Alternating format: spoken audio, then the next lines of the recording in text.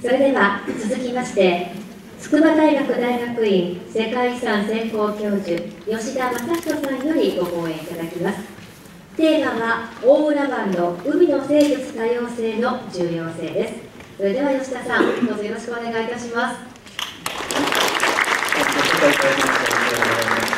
よろしくお願いいたします。えっと、島原さんからあの世界的な、え海の方のお話をいただきましたので、私の方では、えー、大浦湾の海の生物の多様性ということを中心にお話していきたいと思います。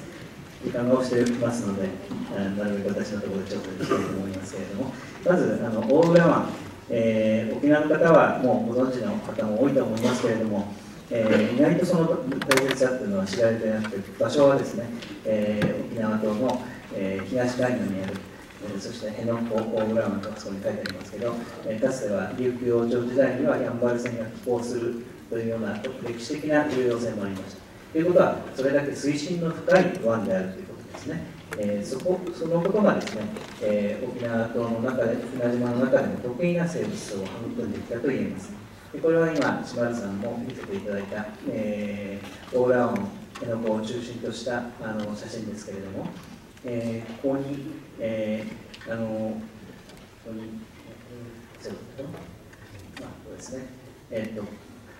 大浦川、それからティーマ川という川が流れ込んでいて、この、えー、浅いところにはですね、えー、河口の干潟とかマングローブとかもありますし、えー、それから辺野古のこの浅場のところ、他にも、えーえー、リーフの内側に、えー、の移動というところには海草もがあって、それで、えー、その、えー、症例、えーまあ、P とか p シとか言いますが、そういったところにもサンゴ礁が、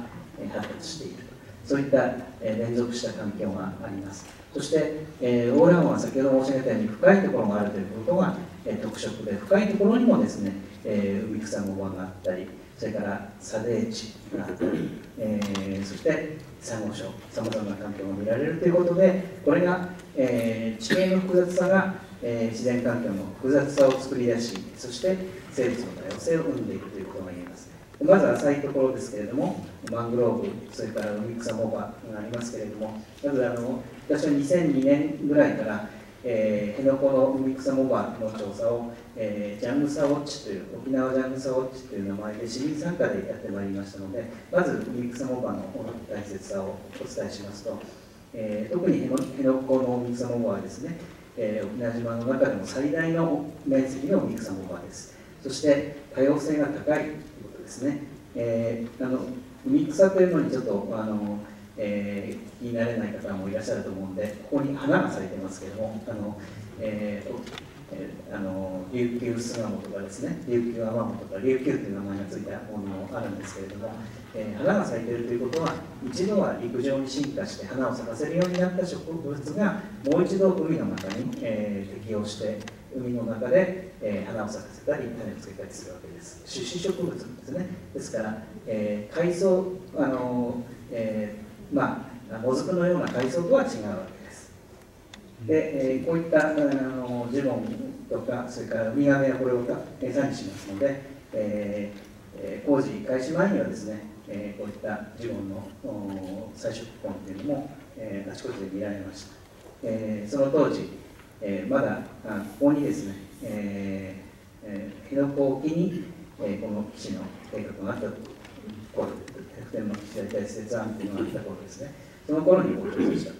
えー、こう航空写真で見ると海岸から、えー、せいぜい、えー、200メートルとかそのぐらいまでしか、えー、海草もがないように見えますけど実は潜ってみるともっと沖の方まで1キロから1.5キロぐらいまでですね、えー、海草が見られるわけですそして、えー、この辺野古以外にもですね大浦湾付近では瀬岳阿武加陽こういったところに人草本番がありまして、えー、とこれは、えー、セダ系ですけれども海岸から降りていってこういうふうに潮が引いた時にはですね海草本番の上で子どもたちがこういうふうにして実際に自然観察をすると、まあ、こういうことができる素晴らしい場所でもあります。えー、これは火曜ですけれども、えー、上から写真を撮ってみようと言って今はドローンというのがありますがドローンというのはまだなかった頃ですね。こういうふうにして気球でちゃん飛ばされそうになりながらカメラをつけて、えー、写真を写そう。50メートルぐらいまで気球を上げて、え、写真を撮るとですねこう皆さんとか見えるでしょうか？ここら辺にちょっと白くですね筋状に見えてるのがこれジュゴンのはみ跡なんですね、えー、こんなふうにジュゴンが実際に、えー、この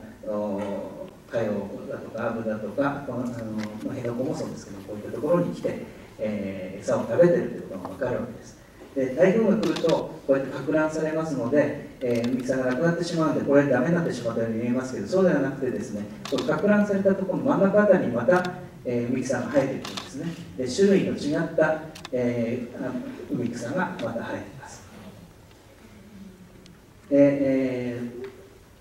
ー、ところがですね、えーと、ジュゴンというのは、えーまあ、朝まで、えー、こういった稲の中で、えー、あの海草を食べて昼は何してるの何食べてるのか昼絶食してるわけじゃないだろうなと思って、えー、非常に謎だったんですけども、えー、大浦湾の方もですね、えー、今度工事の対象地になるという2004年以降なってきてから少し深いところも調べてみようということで潜ってこれちょっと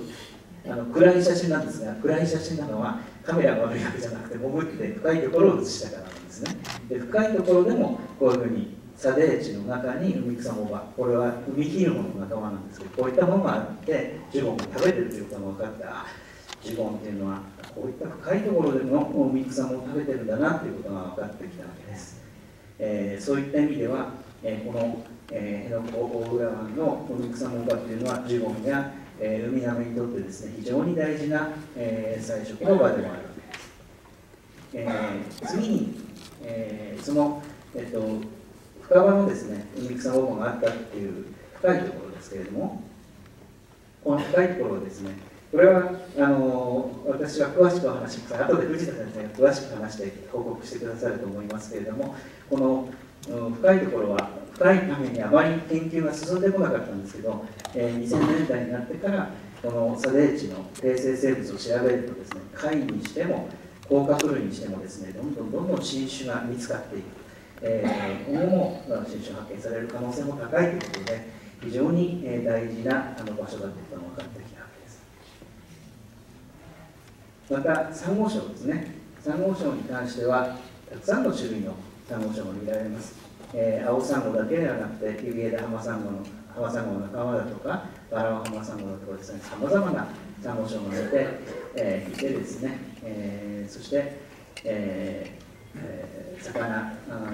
あるいは、えー、いろいろな生物の、えー、生息地になっているわけですけれども特に、えー、2007年にこのチリビシというところのサンゴ文学が発見されて以来ですね、えー、この青サンゴというものに非常に注目が集まりました。青サンゴってこうこれはあの海の中の写真なので全体が青くて、えー、どこが青いのかよくわからないんですが よく近づいてみますとこのサンゴ指のような形で、えー、なってますけどこれちょっと折れたところですね。見てみますと中が青くなってるわけですね。これで青サンゴ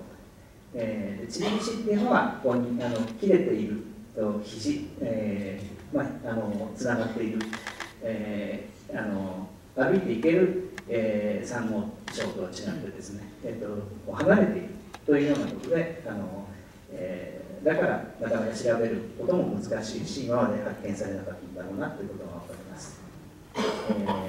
えー、私が写したんじゃないですけどお借りした写真でこんな綺麗な、えー、青サンゴの文脈なんですね、えー、白浜サンゴ礁の青サンゴのと違うのは深さがですね、えー、非常に深いところ12メートルぐらいから、えー、上の方までずっとこう注い立つように、えー見えますよね。これがあの本当にユニークなところです。で近づいてみると、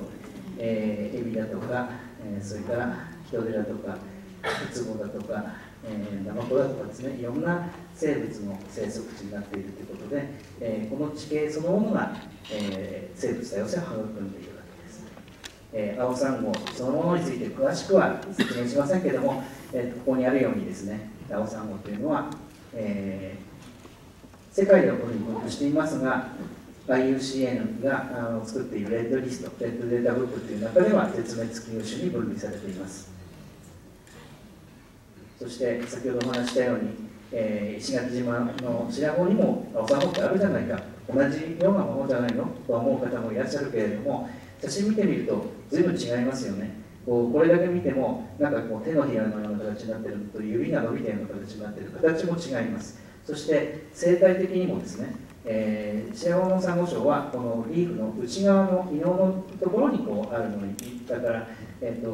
ここは深くないですからね、えー、だ水深は1メートルから2メートルということでそんなに高さはないわけです。それに対して大浦のチリビシの青サンゴっていうのはこういう、えーまあ、壁面にですね、えー、分布しているのでこの深いところ、えー、深いところ14メートルぐらいから2メートルぐらいまでということで12メートルぐらいにわたってこの青サンゴ群衆が見られる非常に、えー、ユニークですし、えー、最近ではあの遺伝的にもですねこれは違ってるんではないかということが言われています